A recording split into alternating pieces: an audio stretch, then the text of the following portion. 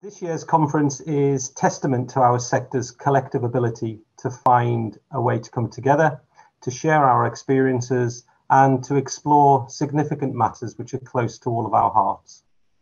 I hope you've been able to get a sense of the exciting and vibrant discussions that have taken place so far. It's fair to say that the last 18 months, the heritage and cultural sectors have undergone a great period of change. We've had to adapt to a rapidly changing world, reiterating the importance of our collections and our professions, while navigating challenging debates about the way that history is presented across the UK and around the globe. I'm therefore honoured to be able to introduce our keynote speakers, whose perspectives on these conversations and the work that they do to address issues such as this are highly respected. Like the other keynotes and sessions over the course of the next few days, both of the talks promise to be fascinating contribution to this year's DC DC theme. And I'm sure, like me, that you're looking forward to hearing their honest and robust reflections on the significant impact that the pandemic has had on heritage, on culture, information, and academic organizations, as well as their perspectives on global conversations surrounding history and memorialization. After our keynote speakers have presented their thoughts, I'm going to be chairing an open discussion, including questions from the audience. So if you do have a question or a comment for Olivette and John, then please post them in the Q&A function that you can see at the bottom of the screen. So I'm honoured to introduce our first keynote speaker, Olivette Otele. Olivette is Professor of History of Slavery and Memory of Enslavement at the University of Bristol and a Fellow and a Vice President of the Royal Historical Society. Her areas of research are colonial and post-colonial history and the histories of people of African descent. She's a trustee of the Research Committee at the V&A and an ambassador for the National Archives Trust. She's also Bristol's mayoral chair for the Commission on Racial Equality. Her most recent monograph, African European and Untold History, was published last year. Olivette's talk will explore the challenges surrounding debates on colonial histories and memorialization and how history is written and discussed today. So, Olivette, over to you. Thank you very much, um, Jeff. Um, I'm delighted to be here today. Um, so let's dive straight in. So last year, with the toppling of the statue of slave trader Edward Colston, many in Britain uh, came to the realization that there was a debate about the legacies of Britain's colonial past and the way certain forms of remembrance influence our gaze on our identities. What appeared to be clear was the fact that there was an emotional content, to say the least, um, attached to, to, to these debates between those who wanted to tear the statues down and those who argue that history would then be lost if people toppled them. There seemed to be little room for actually examining what public memorialization means or meant. Statues are there to commemorate, celebrate, and in any case, they mark the urban and rural landscape in order to evidence an event and to memorialize a particular story. Memorialization is cultural, political, and of course social, a social sealant or social cement. It is about, um, it is also about power and those who get or got to tell the story that is deemed relevant to the majority, whether that majority sees it as indeed relevant or not, is only part of the motives. What also appears to be incredibly interesting to observe was the idea that debates about statues related to slavery were echoing what was happening in the US with controversies around the Confederate flags, statues, and with the toppling of the statue of colonizer Cecil Rhodes in South Africa. So it was about echoing what was happening um, uh, in relation to the events of 2014, 2015. Never mind that actually some 30 years prior to these debates, in 1991, the statue of Joséphine de Beauharnais, um, who was Napoleon's wife, and that was commissioned by Napoleon III, who was the nephew of Bonaparte, in 1859 was decapitated in Martinique, one of France's overseas territories in the Caribbean. So 1991. And the symbolism of such an act is incredible. Activists didn't want to topple the statue, but wanted to engage in a fierce discussion about the idea of partial truth, partial history and memory, partial amnesia of the French state over the history of enslavement. Over the years, the debates evolved and Josephine's statue could not be complete and the head could not be restored until France had engaged with the question of reparations. In July 2020, the statue was eventually toppled. So the toppling of those memorials is not only about how history was bound to be lost if we removed statues, but also about the disappearance of particular reading of that history and what that history says about the society, the community, or the governments that erected it at the time. Another point of interest that was rarely debated in the English speaking world is the role of statues of abolitionists in urban and rural landscapes, mostly urban landscapes, and what these statues teach us about the history of enslavement. In Martinique and French Guiana, activists attacked the statue of Victor Schœlcher, who is the equivalent of uh, uh, William Wilberforce, actually. And why do they do that? Many reasons.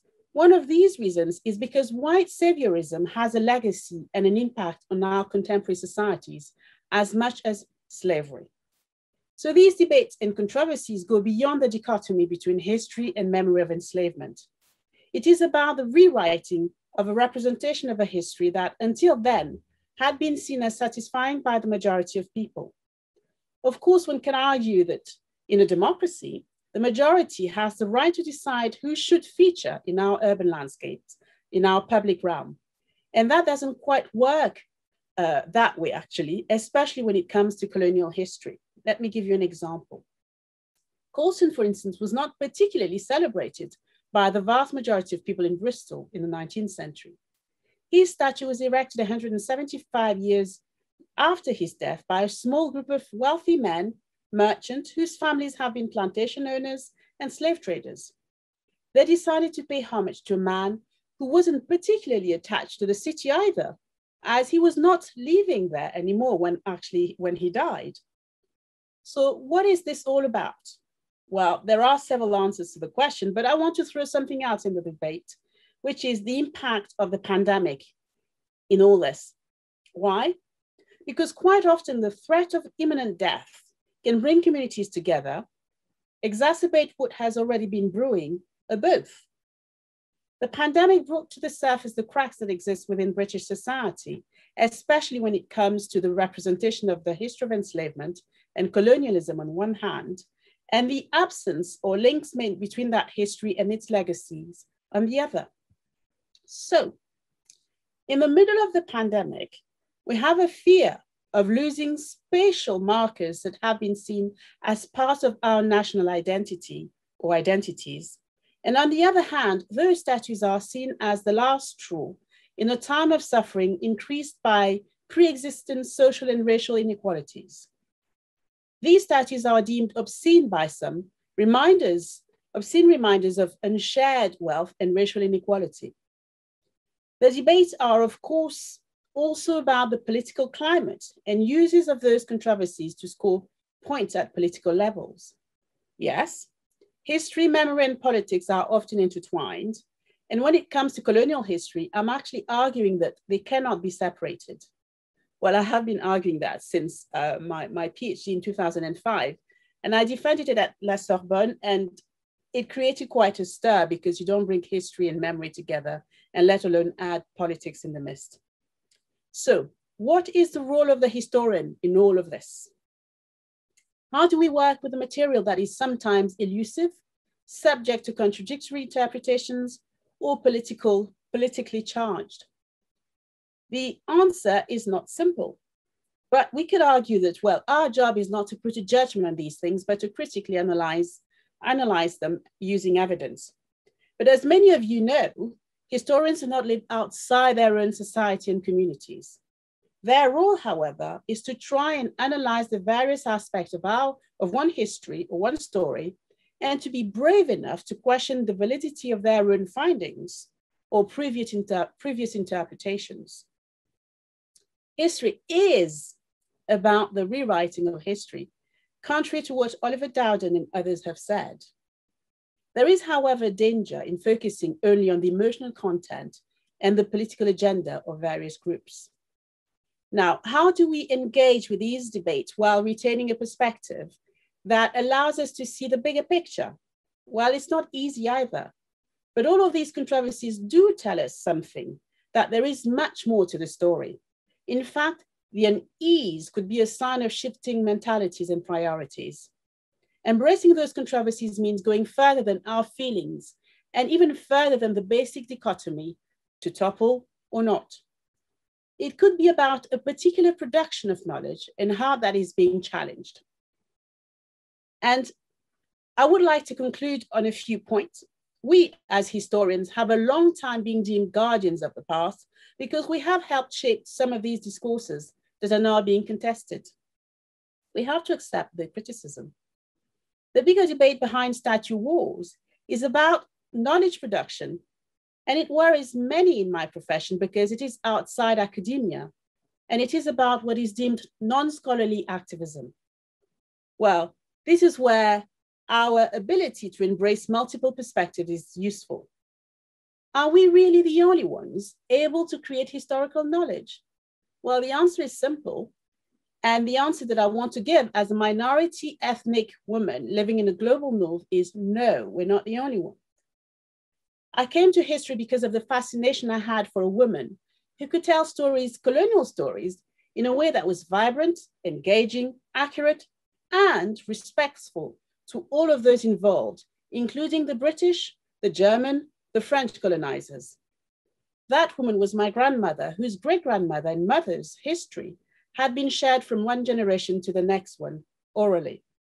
So, my point here, here is that we need to look at who gets to tell the story, how these stories are told, what it says about these people's memories, and how those stories shift or enrich our interpretations of the material that are contained in various national and local archives. So it is also about the way new approaches encourage people to share their own archival material and histories with us, and what we make of those stories and those material.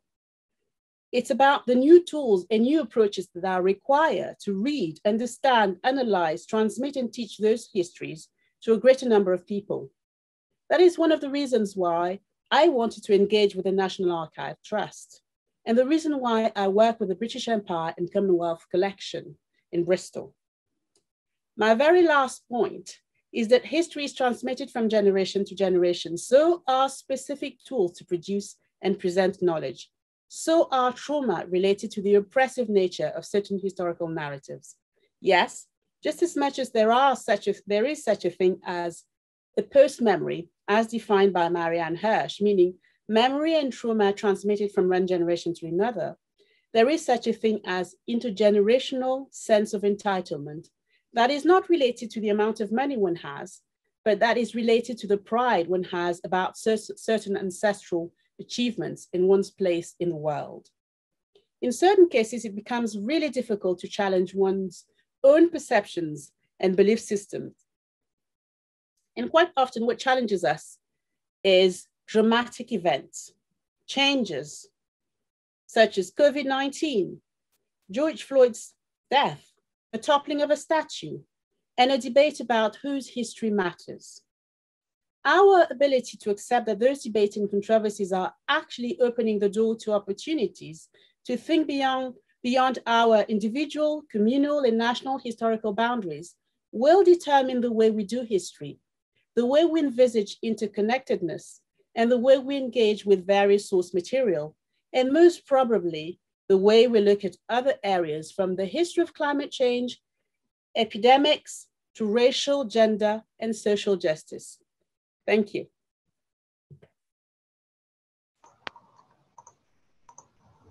Thanks, Oliver. Uh, next up, I'm delighted to introduce our second keynote speaker, John Orna-Ornstein is Director of Culture and Engagement at the National Trust. He's responsible for leading the organisation's care for and programming of its historic places. He was formerly Director of Museums for Arts Council England uh, and Head of London and National Programmes for the British Museum, where he started his career as a curator of Roman coins. John's talk will explore how 2020 was a year of challenge that has led inevitably to change, including harnessing the power of history, beauty, and nature to bring people together. Over to you, John.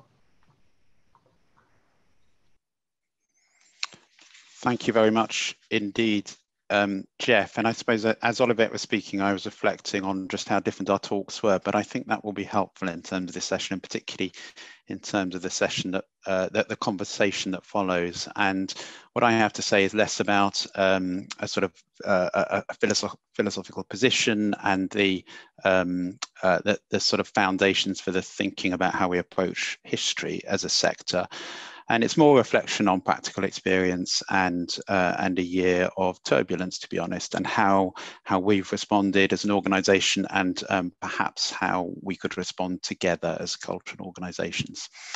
Um, let, let, me start with a with a phrase, and the National Trust looks in two directions. One is towards the, the countryside and nature and the outdoors, um, and the other is towards um, houses and collections and museums and archives and so on. Um, and looking towards the countryside, there is old country saying that thorn is the mother of the oak, which I think is a beautiful saying. and what that refers to really is that you need the scrubby undergrowth, you need the thorns to protect the saplings, to protect the young oaks, and it's it's out of those thorns and only out of those thorns that uh, that the strong oak grows. So this has been a year of massive challenge for all of us, hasn't it? And it certainly has for the National Trust. And I think I think that's organisationally, and I think it's important to acknowledge that that's individually as well. Um, at the National Trust, we, uh, we, we our income uh, over the last year has been down 219 million pounds. Um, and that scale of income change has has meant that we could only respond in one way and that's by reorganizing the whole of the national trust. Um, and in the end that has led to about 1700 job losses. Um, so massive implications for people's individual lives. Um, al alongside that um, that uh, a process like that is that is never easy, but it's come with a with a whole set of other factors and and to some extent of external commentary, and quite a bit of that has been about accusations of dumbing down and not valuing expertise, and that's something else that we've seen uh, leveled at other organisations where they've made um, changes in their staffing, um, and actually some of that comes, uh, to be quite honest, within the cultural sector, let alone from out, outside the cultural sector, and um, very very um, happy to answer questions about that um, in a few minutes time. Alongside that though, and, and linked to what Olivette has, has been talking about, um, the Trust back in September produced a report on the links between uh, the historic places that we look after and colonialism and specifically um, slavery. Um, the response to that was very significant. There have been more than 300 press pieces across the world and counting all the time, every weekend. Um, there were three parliamentary debates about whether we were conducting ourselves in a way that was appropriate. And there was a charity commission report that took a look at the National Trust um, and decided, fortunately, that we acted completely within our charitable purpose in producing that report. Um, the impact of all of those things on the organisation has been enormous. And as I say, it's not it, it's job it's the job losses, it's the constant change that many of us have experienced in our personal and professional lives. Um, but on top of that, whole whole other layers of, um, to be honest, of, of, racism and abuse and even death threats directed towards um, myself and colleagues. So a, a really challenging context my reflection is that as a result of all of that, and this is when we begin to talk, think about the um, the thorn and the oak. I think we're in a stronger place than we were a couple of years ago, pre-pandemic. Um, we are better set up, I think, to care for the places that we uh, look after, that we're responsible for, and we're much clearer about what our approach is to history. Um, a, a, few examples, um, we've, we've gathered and focused our resource. For example, we have, um, we've categorized 28 of our houses as treasure houses, the, the most houses with, with the most significant collections and histories. And we're focusing resource on those places. So each one of those, for example, has its own curator. And, and our ambition is that each one of those is a significant cultural centre. Um, at the opposite end of the extreme, we've gathered together about 70 of our properties that are small properties. And these are the wonderful homes of authors and scientists and musicians and so on. Um, and, uh, and each of those um, are individually brilliant and, and the, we've taken the opportunity to, to operate them in a different way, to run a different model for those properties, but actually to accentuate what's important about them, to make them more immersive, more about the particular individual histories of the places. We've got much clearer what we think about history. And, you know, put at its simplest, we believe our role is to research and interpret the whole history of our places in our care. And we're unambiguous about that, despite the challenge that we've received. Um, just as importantly, and I, I think um, the, towards the end, um, Olivette was was was moving towards this. We we believe that despite all of the um, all of the challenge of the last year, that history and heritage can be a unifying force rather than rather than a dividing one. And and, and again, I'm interested to talk more about that. In very practical terms, um, we think we can do better in terms of how we interpret and present our sites. So that that report that I mentioned on colonial uh, links to colonialism and slavery was just a, a very ordinary document document to be quite to be quite honest, no more than a, a, a, sort of simple account of the history of some of those places and some some essays that um, that, that linked them. In itself, it's not that significant. What's much more significant is how we tell the whole history of our places. So we're going to we're going to be working on improving interpretation in the first place at around 40 of our sites across the National Trust, and that will be telling histories of um, you know histories of architecture or whatever it happens to be, um, ju ju just as much as it's exploring some of the histories that this session will focus on. We're also absolutely determined to continue to be for everyone and actually to be to be more for everyone um, than we have been in the past. So We've, take, we've done some lovely practical things over the past year. For example, we've developed a new, um, a new uh, blossom park at the Olympic Park in East London um, with 33 trees represent, each one representing a borough of London um, and linked to COVID and lost through COVID. Just a really practical, tangible, lovely thing to do with those communities. We plan to work with 10 other cities over the last year, over the next year to do the same thing and, and to plant in, in all 4 million blossoming trees as symbols of hope. We're also working in different ways. And, I, and I, again, I think this relates to what Olivette was saying about how we do history, how we explore history. Um, and, and our focus, as we've reorganized ourselves, is much more on partnership than it has been in the past, much more on crowdsourcing, for example, and less on what we do ourselves, more on how we work with others and how we conduct ourselves. And we've done some other lovely practical things like um, developing hubs for children and young people in 25 national properties across the country. So um, I, I, suppose what, where, where is all of that going? And what am I trying to say? That at a time of massive challenge, I, I think there is only one sort of lesson, one key lesson that we've learned and that we keep coming back to. And that's that through all of that, we've been absolutely focused on what our North Star is. And, and we, have a, we have a very simple purpose as an organization. It's to care for, for places and collections, but we do that for one reason, and that's, that's for people. That's to make people's lives better. So that that sort of north star of what we call everyone welcome, but uh, you might call um, inclusion. Um, um, it, it is is the thing that we that I have focused on in everything, in, in all of my actions, in all of the challenge, as I support my teams, as we produce that report, as we reorganized ourselves, as we opened again, uh, it, it is that ambition to be more for everyone that uh, that has been our north star. Um, it's taken every bit of our stamina and energy to, to hold on to that, but it is having that North Star that's, that's made all of the difference. Just one more thought, um, which, which, is this: um, if we if we didn't have the challenge, if we didn't have the debate, if we didn't have the disagreement, then I, I don't think we'd be doing our jobs. I'm excited, to be honest, exhausted by, but excited by the challenge that that, that we've had and that we continue to have and will have um, long into the future in terms of the debates that we're having. Um, and it, it seems to me that in at times our cultural sector, whether you know museums, uh, um, archives, libraries, arts organisations, we can have quite a narrow focus and often we can serve quite a narrow constituency. And i'm really interested by the fact that this this this debate is even with you know it's with it's not from outside the national trust it's within our own membership um, and then externally amplified externally as well of course. I love the fact that we have more than 5 million members and all of them have a voice and all, all, all and some of them are concerned and some of them are delighted and and, and it's it's in that it's in that um, debate it's in that disagreement that i think we're going to find a way forward in the end. So it is that you know it, it is that breadth of constituency, that breadth of audience that I think excites me when I think about us as cultural organisations. And and and you know, if that's the case for the National Trust, then my goodness, it's it's the case for for, for some of your work when you work in, in in libraries and archives and so on that really do appeal to, to significantly broad constituencies. Um, I think it's only us working together that is going to make a difference in all of this. That's the thing I'm really interested in.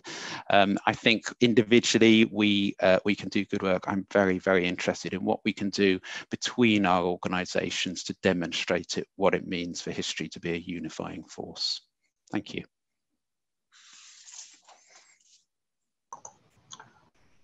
Thanks, John. Thanks, Olivette. Um, I think if both of you can have your your um, cameras on, that would be great. Uh, we're going to open it up now for um, conversations around both your talks. Excited and exhausted, I think, is probably a phrase that many of us will will connect with. Um, John, I noticed on your um, abstract that you, you, finished it by saying a decade of change in a single year. I thought that was a really good way of describing the last sort of year to 18 months. And I guess I'm interested in from hearing from both of you about whether there was anything in particular, whether there was any moment in over the last 18 months that's made you think that you know things are going to change that there's going to be that you could detect a shift and a, and a perception of how things might be different so perhaps oliver I, I start with you and then we'll ask we'll give john just a little bit of a breather since he went second so. well uh, yes th- there was this moment when um, after the the killing of george floyd where there was this spontaneous movement more importantly what i observed was through my students I mean, I have been working on uh, popular protest and, and demonstration related past and all that. And suddenly you have this massive amount of young people who, most of them coming from rather privileged backgrounds, most of them having no direct connection as in descent of enslaved, not at all, but completely immersed in this idea of social justice and protest and rewriting history and questioning, actually challenging the kind of history that we my generation has been teaching. And I think that for me was a moment where I just stopped and paused and think, wow, these these people are, are teaching me. This is a great lesson. So how do we move and how do we take it uh, from from there? And, and going back to what you were saying earlier, Oliver, do you think to what extent do you think that might have happened in the environment that where we didn't have COVID? Do you think that was that was something that would have happened anyway, or or was the you know was the intensity, the emotion of it uh, different as a consequence of the pandemic? I'm convinced that the pandemic played a huge role because we were then facing, you know, we had some of us had a bit more time uh, with ourselves at homes and questioning, and then the fears about, um, well, our our health and our loved one, not seeing them, and actually going on a, a kind of philosophical journey, most of us uh, um, played a, a, huge role. But in terms of young people, it was also the lack of connections and the lack of, um, you know, uh, um, kind of a proximity to others played a huge role because we talk about mental health, but but this idea of not being able to express oneself actually played a huge role, and the it crystallized in that movement about a rejection of a particular kind of, uh, of reading of history and and um, and the history of police brutality and all, all the rest of it. Yeah. John, same, same question for you, if I may. Anything in particular that kind of crystallized things for you over the last 18 months or so? Um, change is difficult, isn't it? And change is, is slow. And I, I think most of us um, deal best with change when it's when it's forced on us and you and you don't have any any choice. Well, one of the interesting things for me, caring for so many um, special historic places, is is that in my mind change is very diff- is very um, important for those places. So the, the, thing about the places that National Trust cares for, and, and you know many of the people um, listening to this talk will will will be in the same position is that is that they've always evolved they've always changed. And then there's this idea somehow that as they come into the um, in, in, into the care of an organization like the national trust they should stop changing. And what that means in the end is stopping responding to people. And in the end that will mean um, uh, stop, stopping being stopping being relevant. So um, I think that's sort of been exploded a little bit over the last year. And I think that is it's that that um, it's that that's an a, sort of wonderful opportunity, but it's that that's also a, a threat to people because there, there is something very important in what people hold on to from the past. So um, I, I, suppose what what we've seen, we, we've we've had to change, but also we've seen that people want different things over the last year. So, in very simple terms, for example, people have wanted massive access to to countryside spaces near to peri-urban countryside spaces, um, and and that's something that we've been able to provide. But perhaps we haven't focused on much in the past. So there are some obvious, you know, just some obvious things that are absolutely going to going to force change there. And I think it's the same with the debate um, that that's that's gone on. We wouldn't have entered into this debate. I'll be honest, we wouldn't have chosen to enter into this debate in quite the way we have. Now, you might think, well, you always knew that it was going to come if you produced a report like the one you did, and I, to, only to some extent is that true. But but uh, the the the um, the scale of the debates um, and and at times the ferocity of the debates has surprised us. So we certainly wouldn't have wouldn't have chosen that. So I, I suppose um, I suppose those couple of very practical moments, just seeing that people want to use our places differently. Um, in a practical sense, but also the, the, the ferocity of that debate, I think, showed me that things have changed, the world has changed. Certainly, it's changed for us, and and, and it, it won't change back just stick with you for a second, John. I, I guess I'm interested to um, hear about your thoughts about how you kind of how do you continue to make your existing visitors feel valued, but at the same time opening up your places and and the, the areas that you're responsible to to new audiences? How do you kind of strike that balance, particularly when you know there may be very different views about what the National Trust is for? Yeah, that's a that's a great question. It's one I sort of wrestle with all all the time. I mean, I think I think the answer is that um, we we are in a wonderful position where we don't have to be all things to everyone everywhere. So we the, the trust cares for 500 places, and and and um, there are different opportunities in all of those places, and within each of our places there are different opportunities. So we're already very used to the idea. Ten years ago, the National Trust proactively went out of its way to be more open and accessible to families, and and we've done that by making some of our places more accessible, and some of some of them focus in particular on families. And then within a particular property, um, we we you, you might know it or you might not know it, but on the whole, we tend to send kids and the families one way, way and we tend to send send other people a, a, another way. And if you want to make, you know, if you want to go where the kids are and you haven't got kids, it's okay. But but actually, that's sort of the way it it, it works. So um, I think it's not that we can keep everybody happy, but it's that we can provide wonderful things. We can provide the things that that people want. Um, you know, in in in lots and lots of different places. Um, I, I think the really tricky thing, if I'm honest, is that philosophically that's sort of not where I want to get to because I want to bring people together in the end. I, you know, I want the opportunity for people to come together in a garden and understand that, or, or, in a house and understand the history of that and discuss and debate it. And I think it, I think that's the fascinating thing. And I've, um, I think I said this to you before, Jeff. That is that that's the bit I would love if any of the people listening have examples of where they've managed to bring people with very different views and different life experiences together um, to talk about some of those things. Because I, I really do believe I, I, um, yeah, I used to work in, in, in museum museums rather than the National Trust, and I've seen again and again the power that objects have, where people from very different perspectives come together around a single object to maybe, you know, through you know creative exploration or whatever, um, come to some sort of a shared understanding, if not if not to full agreement about the significance of that object. So I know it can happen, but how to do that at scale is the thing I'm really interested in. Great. so I, we, I've seen that we're starting to get some questions in, so I'm going to uh, try to segue to those. Olivette, I was just I was thinking back, you know, the, the last year or so. In many respects, most of us have been starved of access, you know, access to historic houses, but also to archives, to libraries. And you talk about, you know, reevaluating our approaches to how we access, produce, and share knowledge. And I'm just wondering if you want to pick up on that theme a little bit and talk about how we might have to do things differently, and also, you know, the extent to which that's already changed over the last couple of decades. Yes, um, that's interesting. A very interesting one because uh, in 2016 I visited one of the National Archive Trusts, uh, the, one of the um, National Trusts um, places, and the experience was such that I actually wrote a, a chapter about it, and uh, the book just just came out right after the, report was written, um, but it, it wasn't good. It wasn't good at all, and my my point of view was that um, it, the, the diversifying lacked the diversifying in terms of inclusion of several histories in one place and over acknowledged that it, it was very difficult to do so i have seen the the changes in certain places and i have seen the ways in which the, the, the trust way before i you know my, my paper was out the trust has been incorporating and i'm talking about wales here incorporating um, various histories and, and how incredibly difficult it's to balance several histories. In Wales, you have the history, uh, well, the history of Wales, the history of colonial history, and so the history of Wales, the, the history of, of, of, work, the working class. And in that particular place, it was really a very difficult act to do.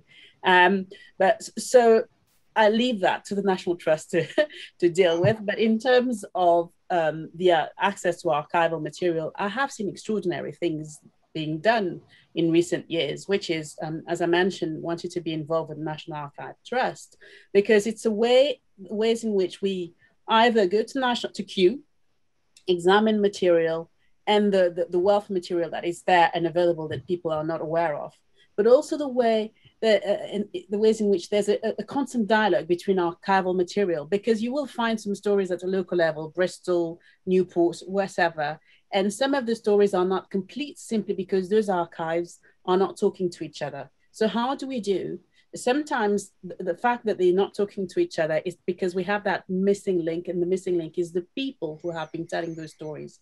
And at the local level, quite often we found people who can transmit certain kind of knowledge that is supported by archival material, but they don't even know that, and vice versa. So I think we have a huge opportunity to to do this, and it has been done as, as, in many places, and it's starting to be a, a, a kind of a, a, way to do things to to bring up um, not just a story from the, the top or a story from the bottoms, but really multidimensional uh, uh, ways of doing history and the tools to read that history. It's, it doesn't have to be academic history to be serious.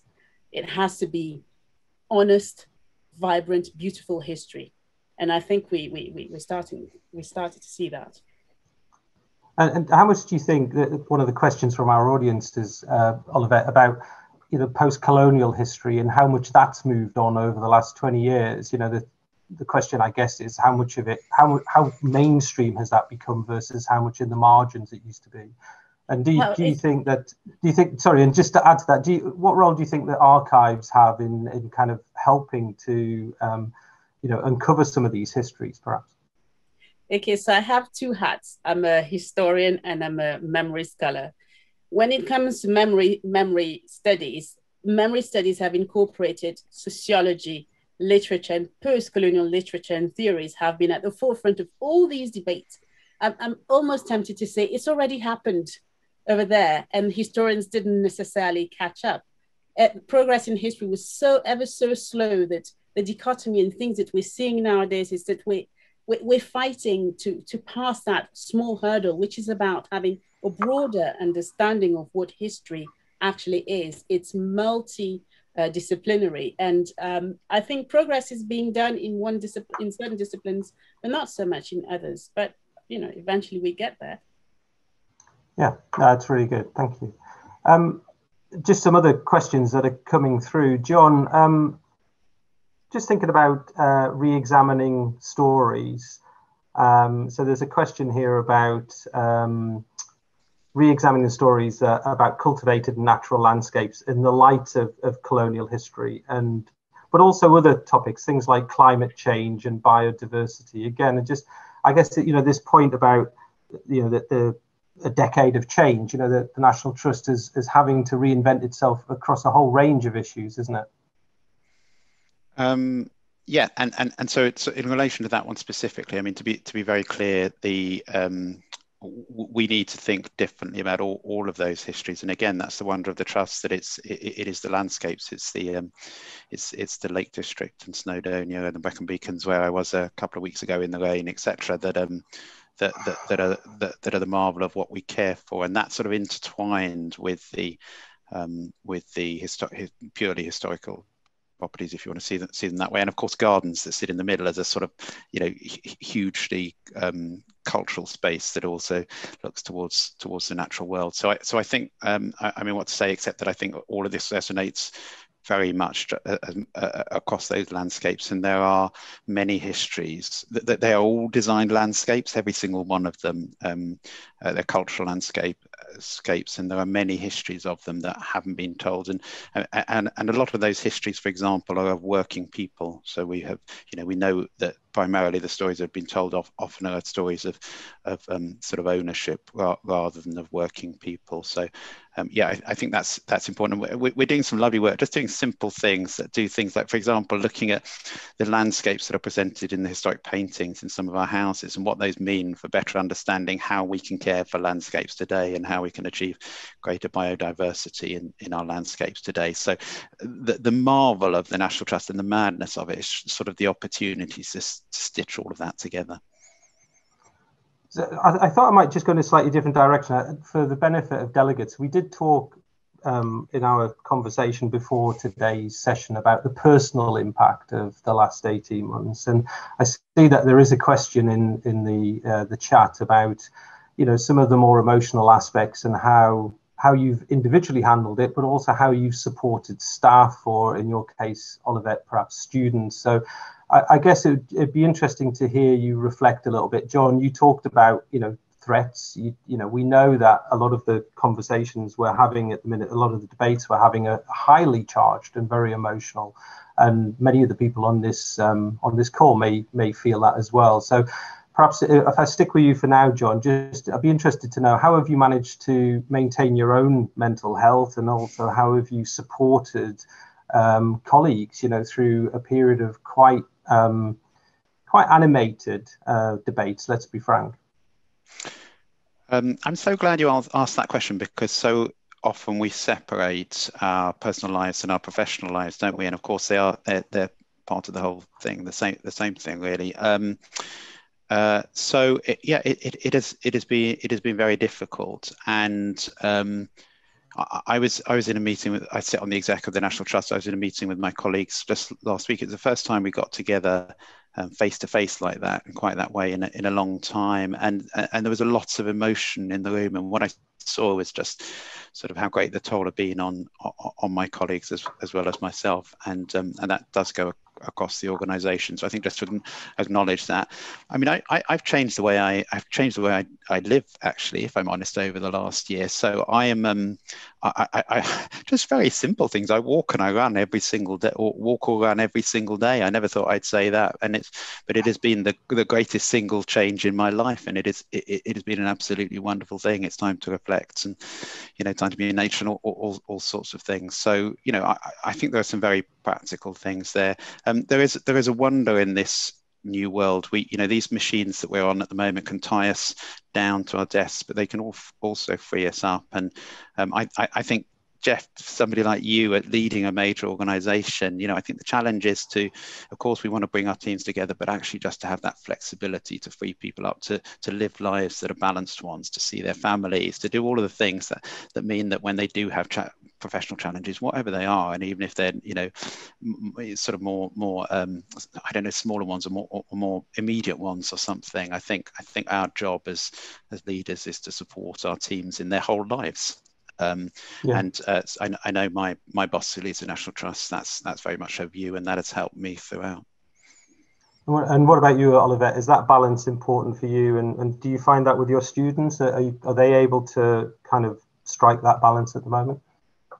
Uh, it was very hard for them, for, for everybody, but for young people, it was incredibly hard. And I'm, I'm talking about, you know, dramatic, dramatic things, you know, um, suicide, um, self-harm and, and, and things like that. So there were several layers of help and support that was needed. At my level, it was about constant dialogue. And um, I'm the queen of Zoom now. And uh, we talked, we talked, we talked. So there's the academic relationship and the talk about, you know, the object, the, the, the memory, the history, and all that, and how it's relevant to their daily lives, relevant to what they care for. But also at another level for my tutees, it was about understanding how they can actually uh, come stronger from, from, from this. Being isolated means that you have opportunities to do things that you never learn. So I know it sounds trivial, but learning to, to sing, um, learning to, you know, all these stuff that are really helpful to take your mind off things. And it's also how do you engage with certain things that you, when you don't have access? Okay, so online exhibitions was a major one. Um, and, and, and discovering the links between the cultural sector and history through those online exhibitions actually transform the way they understand in a very academic way they understand what history is about. So it, it was actually very useful to have this conversation. So I, it's interesting that both of you are kind of reflecting on some of the uh, the more positive aspects as well of the last 18 months of the pandemic. I know john you said earlier on that you thought in in many respects many respects national trust was in a stronger position. I, I wonder whether you just want to explore that a little bit further um, you know in what way are you in this in a stronger position? And how do you think that's going to um, shape the future of the organization? And and you know again just sticking on this theme of how people are feeling and how people are looking after themselves you know what do you see as the positive benefits coming out of that? Um, I mean, just you know, just starting on a very practical level, um, we we have a we have a smaller cost base. I'm sorry to introduce something as sort of ba- basic as that, but that um, that that means we can be more agile as an organisation. We can um, uh, I don't know, we, we, we can be more fo- focused in what we're doing.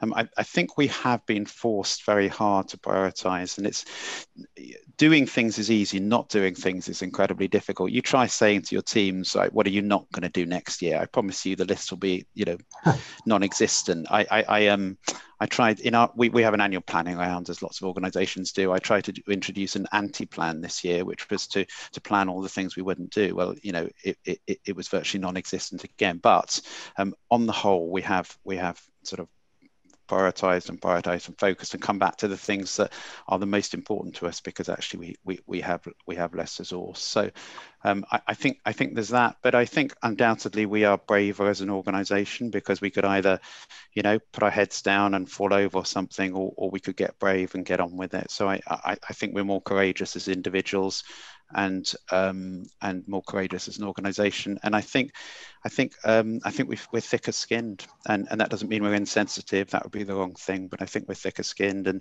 you know, the first time I, the, the first article I read in whatever uh, national newspaper, I'm not gonna I'm not gonna bother to name them. Um, I it, it, it, it, hurt, and so did the second, and so did the third, and so did the fiftieth, and so did the sixtieth. The three hundredth maybe hurts less, and the three, the four hundred will hurt less than that. So you know, in a very in a very practical sense, I, I just think we are more determined. That's what we are. We're more determined to get on with doing what we see as our as our core work, which is caring for the places we look after, being for everyone, and and and um, supporting other people to tell the whole history of the places we care for. Yeah, and, and, Olivette, do you feel the same? Do you feel more determined? I mean, obviously, you know, you have a, a, a, very deep involvement in Bristol and, and what's happening there in terms of moving the conversation forward. Do you feel do you feel that echoes for you? Yes, I mean, I was hired in Bristol to look at the links that the university has with slavery. So there's another conversation that's going on, and the involvement is uh, very much, it's, it's very deep. Another conversation is about the renaming uh, of those buildings. So a lot is happening, and it's, it's very dynamic. And, and what is interesting for me to observe is really the regional differences, you know, in terms of England having a conversation of should we take black teach Black history, or maybe not, maybe yes. And and in Wales, where I'm actually based and I live, um, already had this conversation, already had the audit, and working towards a cur- curriculum uh, at a regional level. And it, and for me, it's fascinating to observe how you rewrite history by by um, by taking the measure, the measurement of society and societal debates. Yeah, and there's a question from one of the audience there about deaccessioning records and decolonizing catalogues. Do, do you have any concerns, you know, as a historian, about whether what that means in terms of barriers to access for researching, particularly around slavery and colonialism? What do you mean? Uh, um, what kind of barriers? I'm not sure. Well, I, I suppose you know I, I think the, the question's basically asking that um, you know as as um, as institutions start to reconsider the the challenging nature of their collections and change the way that they describe them and change you know um, change you know, think about whether who should own some of those collections do you think that that's going to in any way inhibit research no not at all um, that we're having these conversations now because the full, the full picture hasn't been presented. We, we, we haven't done our, our job as well, um, scholars or historians or perhaps practitioners, by presenting a fuller picture so that people, I, I keep saying this over and over, I feel like a broken record, but we can't change history. We can present it and we can be brave enough to present the good, the bad, the ugly but because we haven't done that, this is why we're having these conversations over and over as to what the, impact on the object is. We need to expose these objects. We need to, to bring them out and actually talk about what it, what it meant and why they have been hidden, but also what, what happened, and therefore teach that that that history. So I'm, I'm for full disclosure, really. Right. Okay. Uh, perhaps two last questions then before we have to to wind things up. Uh, one from the audience and then one from me, maybe. So um, uh, this is pitched. I don't know if you've seen it as a provocative question, but this concept of culture wars. Um, you know, do you think that this is a real thing, and and what direction do you think it's going to lead institutions like the National Trust, not just the National Trust, but you know, um, institutions like our, like National Archives as well, and the university sector over the coming years? Uh, me or, or John? Uh, oh, sorry. Uh, yeah, Olivette, we'll stick with you, and then we'll go to John. Okay.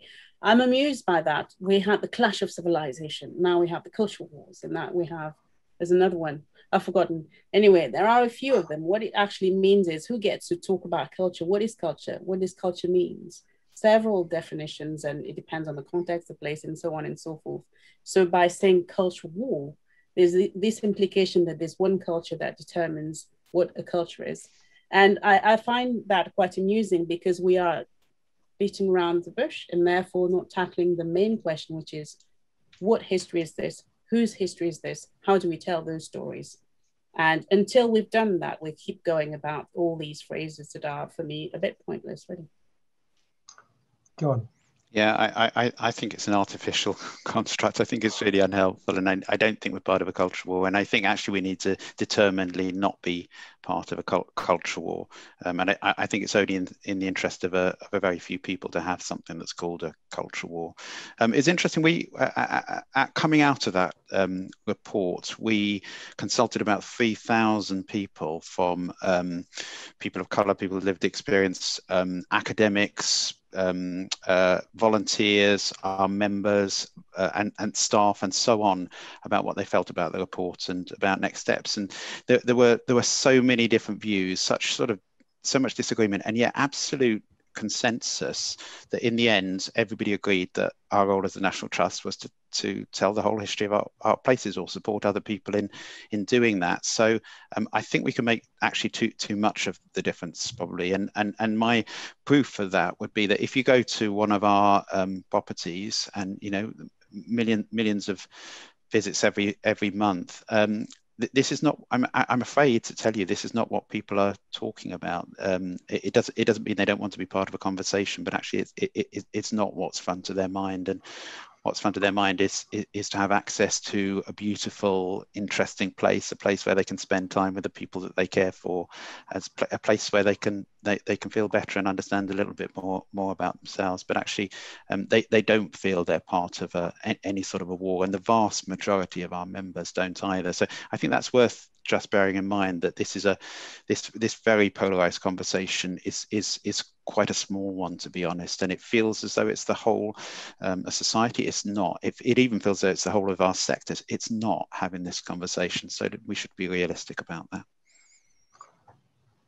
I think we're, we're pretty much out of time. Any last minute thoughts from either of you on, on I think we've tried our best there today to try and span the gap between philosophical and practical, but any views that you want to impart as a kind of as a, as a departing note? John, uh, perhaps start with yourself. Yeah, my thank you. My my my last one. I, I am a very practical person. You might have sense sense that, and I'm. I think there was a question which is, you know, I, I, can't quite remember what it was, but something about what's, you know, what is the opportunity for us to to come together on this? And I have to be honest, I I don't know the answer to that. I wish I did because I I'd sort of tell you and then it would happen, and I, I am a bit frustrated that there isn't more opportunity for us to come together. I, I do think it's not a, it's not by being part of a cultural war. It's not by trying to oppose something. If I'm honest, it, it's almost the opposite. It's by proactively and deliberately demonstrating history as a unifying force and how to do history well uh, and widely and democratically. Um, but I think it's a bit more than doing that individually as organizations. So if any of you, I'm on Twitter, if anybody has any ideas, if anybody wants to wants to work with me on that, I'd be very pleased to hear from you. Okay, thanks, John. Olivette, any final remarks from yourself? Um, yeah, my my the final um, remark would be be brave. Be brave and you know, learning about histories that are disturbing are not don't um, take anything away from you. They enrich you. They challenge you, but they enrich you. And ultimately, we, we're all stuck on this earth. So we need to make it work. So they just learn more and more about other people, and, and that that's the beauty of it.